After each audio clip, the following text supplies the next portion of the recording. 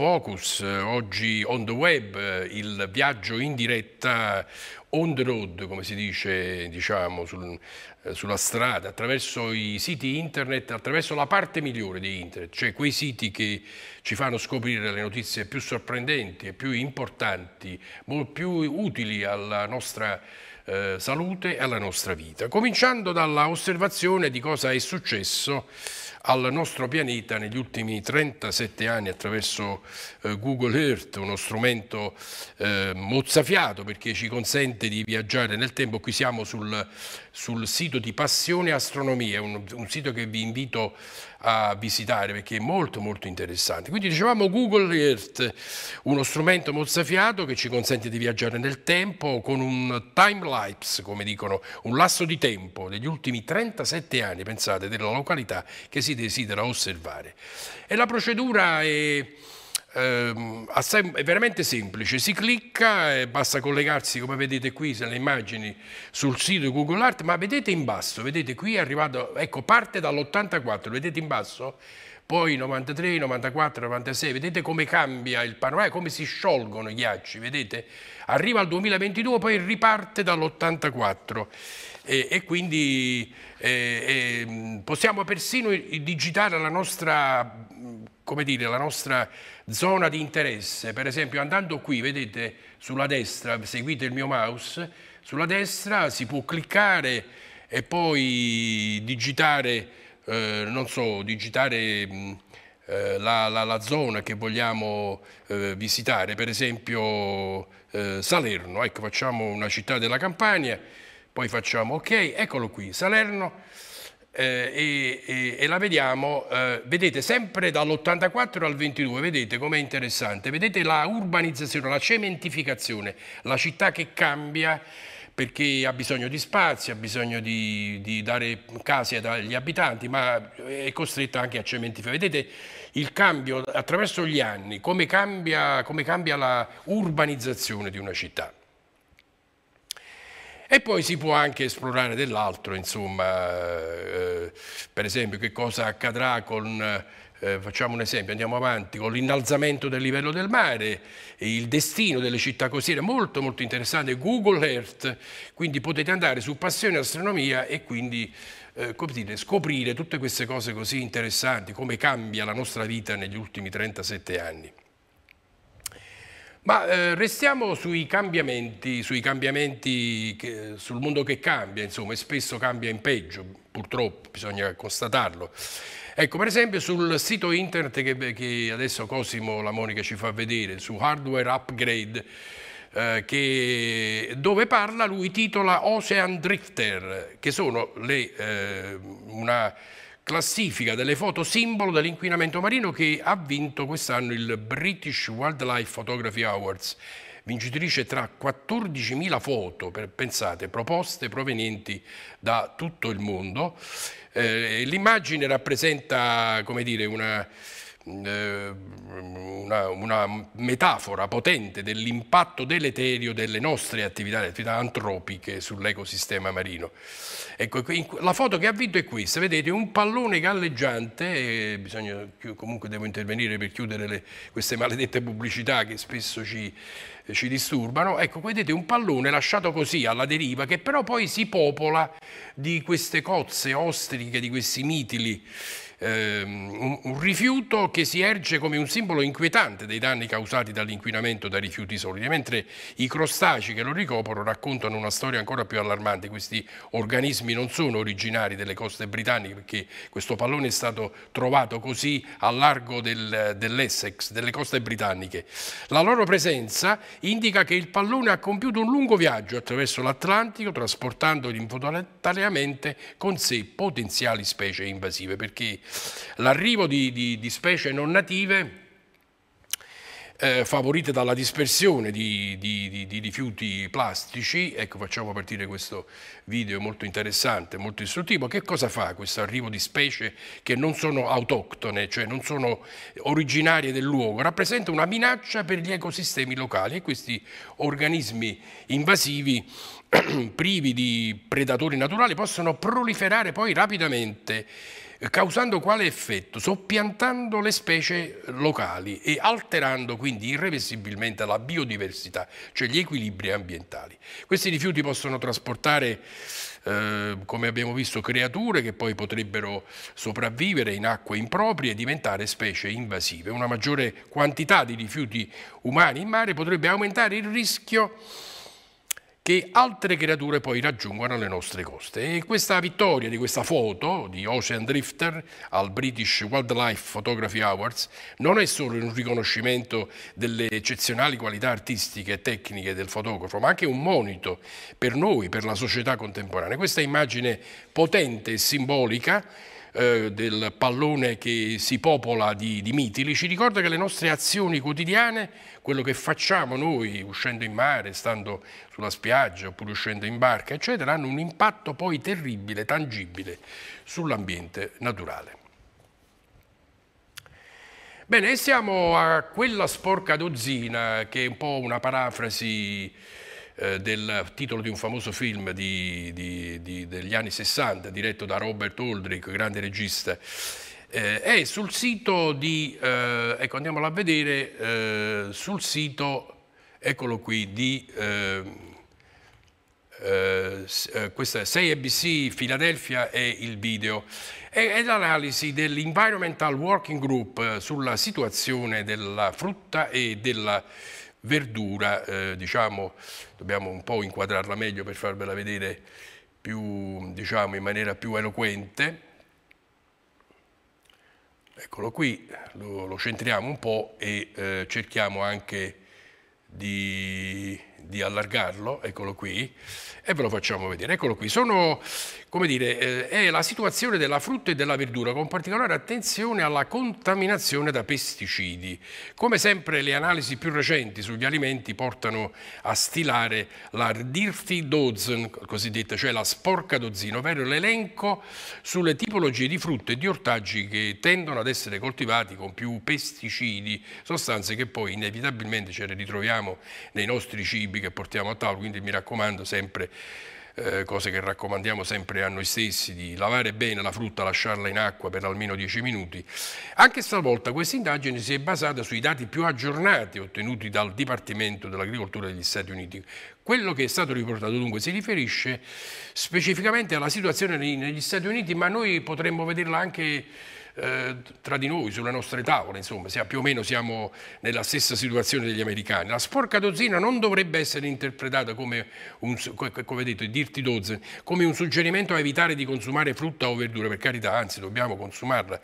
Eh, anche quelle più contaminate, basta insomma eh, guardarsi con cautela, anche se è preferibile ovviamente optare per frutta o verdura provenienti da agricoltura biologica oppure non trattata.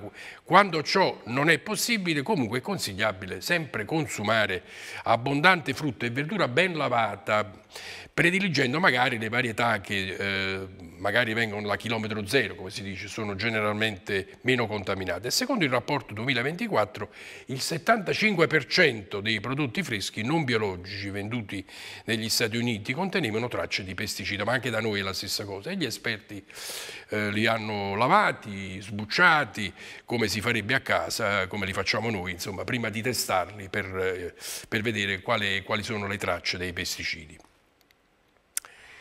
E andando avanti, ecco, quattro dei mh, mm, cibi eh, eh, più frequentemente popolati da questi diftidozen, cioè da questa sporca dozzina, sono fungicidi. Secondo il rapporto 2024 il 75% dei prodotti freschi non biologici venduti negli Stati Uniti contenevano tracce di pesticidi. E gli esperti li hanno, l'abbiamo detto, lavati, sbucciati. Quattro dei cinque pesticidi trovati più frequentemente sono fungicidi, abbiamo detto, la classifica è questa, fragole al primo posto, attenzione, sono il frutto più contaminato, quindi bisogna lavarle per bene, spinaci a seguire, cavolo riccio, cavolo verde, senape, uva e pesche, pere, pesche nettarine, mele, peperoni e peperoncini, ciliegie, mirtilli e fagiolini.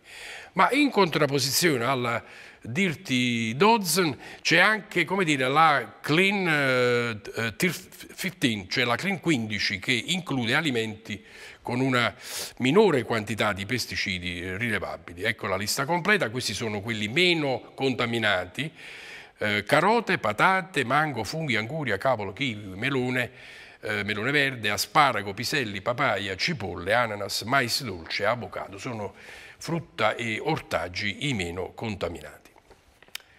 Bene, passiamo, dobbiamo andare veloci perché il tempo passa, passiamo ad un altro argomento e cioè eh, la, la, la, diciamo, la, sovrappopolazione, un argomento che domina sempre eh, i media, i giornali, le televisioni, che parlano di, eh, di eh, traguardi. Entro i prossimi anni prestissimo arriveremo a 8 miliardi e mezzo, però c'è, attenzione, chi la pensa all'opposto, diversamente, ehm, perché ehm, eh, Focus, la famosa rivista, Focus che è anche una rivista multimedializzata, la trovate anche su internet, eh, dunque citando la rivista Lancet, titola il contrario, eccolo qui, altro che sovrappopolazione, il futuro della Terra è a bassa fecondità, cioè è il contrario di quello che leggiamo. Nei prossimi decenni il calo delle nascite potrebbe essere un problema più grave rispetto alla sovrappopolazione. Lo dimostra un'analisi appunto pubblicato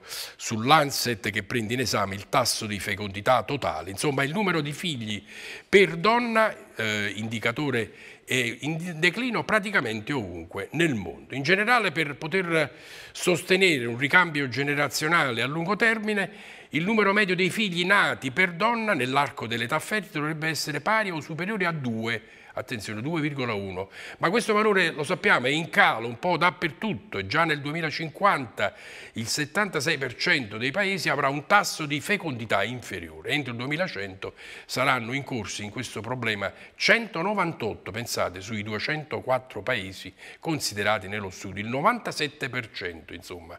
La ricerca è stata condotta dall'Institute um, for Health Metrics and Evaluation della Scuola di Medicina dell'Università di Washington, se è pur vero che praticamente ovunque si registrerà un calo del numero dei figli per donna, ci sarà comunque un mondo demograficamente diviso, caratterizzato da livelli ancora relativamente alti di fecondità in pochi e popolosi paesi a basso reddito. E poi africano, un neonato su due, eh, eccolo qui, eh, nel, nel, nel, 2021 il 29% dei nuovi nati provenivano da paesi dell'Africa subsahariana. Nel 2100 nascerà in questa regione il 54% invece di tutti i bambini, più di uno su due insomma.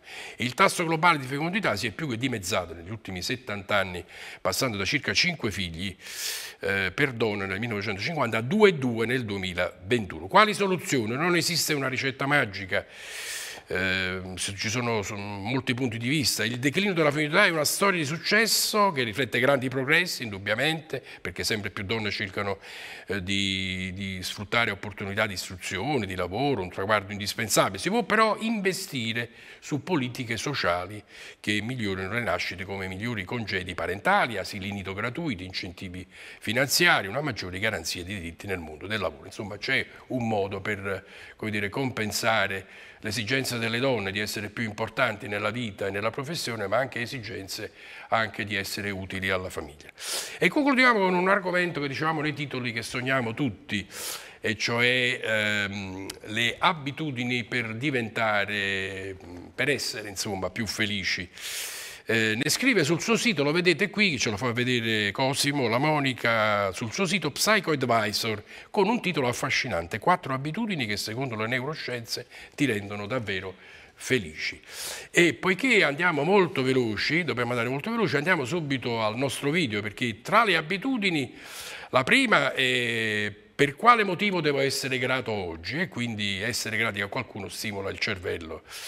Seconda abitudine, ecco, e qui può partire il nostro filmato, dai un nome alle emozioni negative. Quando ci sentiamo a terra spesso cerchiamo di nascondere a noi stessi e agli altri le ragioni eh, del nostro malessere, ecco, siamo accompagnati da questo fumetto molto eloquente. Cerchiamo di nascondere insomma eh, perché eh, siamo, eh, siamo, insomma, abbiamo i nostri malesseri. Ecco, per migliorare la nostra condizione si consiglia di dare un nome alle emozioni negative, descrivendolo in poche parole eh, o usando un linguaggio simbolico fatto di metafore o semplificazioni. Ciò richiede di attivare la corteccia prefrontale che riduce l'avanzamento del malessere nel sistema limbico del nostro cervello. In sostanza descrivere un'emozione in una o due parole aiuta a ridurre le emozioni stesse e quindi si cerca di eliminare, cerca di eliminare, il, dicono gli psicologi, dal tuo vocabolario frasi generiche o qualunquiste, come mi sento male, mi sento bene, un senso di malessere, eccetera. Perché? Perché non vogliono dire assolutamente nulla. Danno solo un senso di confusione a te e a chi ti sta accanto. Ma impara a conoscere e a definire le tue emozioni. E allora ti senti male? Eh, che nome daresti a questo male? Tristezza, paura? Insomma, definiscilo, consiglia Korb, il grande psicologo che eh, diciamo, eh, ci racconta questa esperienza, descrivendolo in poche parole usando un linguaggio simbolico fatto di metafore o di semplificazioni. E ciò richiede di attivare la corteccia prefrontale che riduce l'avanzamento del malessere appunto nel nostro cervello. In sostanza, descrivere un'emozione in una o due parole aiuta a ridurre l'emozione stessa. Terza abitudine, prendi una decisione, è importante. Le neuroscienze dimostrano che prendere una decisione riduce la preoccupazione e l'ansietà e aiuta a risolvere i problemi. Prendere una decisione implica creare delle intenzioni, porsi degli obiettivi da raggiungere. Tutte queste attività fanno parte del circuito neurale Prendere una decisione aiuta anche a superare l'attività dello striato del nostro cervello, che in genere spinge verso impulsi negativi. Infine, prendere una decisione cambia la nostra percezione del mondo, perché si trovano delle soluzioni sempre ai problemi, calmando il sistema limbico. Quarta abitudine, cerca un contatto fisico, è importantissima, la sensazione di essere esclusi attiva nel cervello le aree del dolore. Attraverso il contatto fisico l'organismo rilascia la famosa ossitocina, quell'ormone importante che può definirsi un vero e proprio farmaco del benessere perché il suo sistema attiva le endorfine eh, perché riducono il dolore. Ovviamente non è sempre appropriato toccare, sfiorare le persone, ma contatti poco prolungati prolungati, come ad esempio strette di mano o pacche sulle spalle, di solito sono accettati. Con le persone vicine fate lo sforzo maggiore di toccarle più spesso, dunque avere un contatto fisico è importante, è un atto molto potente a cui spesso non diamo abbastanza importanza, ci rende invece più convincente, aumenta la performance in team e migliora la capacità di flirtare.